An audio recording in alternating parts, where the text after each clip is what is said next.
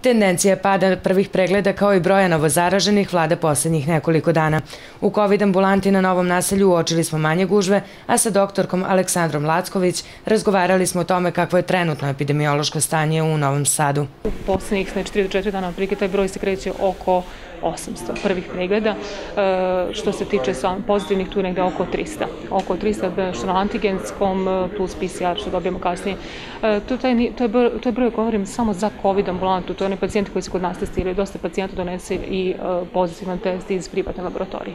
U COVID ambulanti uvažavaju testovi iz privatnih laboratorija, a klinička slika pacijenata je blaža nego kod prethodnih sojeva jeste blaža klinička slika kod onih pacijenata koji su vakcinisani i kod mladih pacijenata ovaj, blaža klinička slika. Sad imamo, e, tako da kažem, ajde, blagi, blago je poraz bio u odnosu na početak ovog talasa, hospitalizacija, ali to su uglavnom pacijenti koji imaju pridužene bolesti, koji nisu vakcinisani i kod starih pacijenata. Kod njih je malo, malo komplikovanija klinička slika.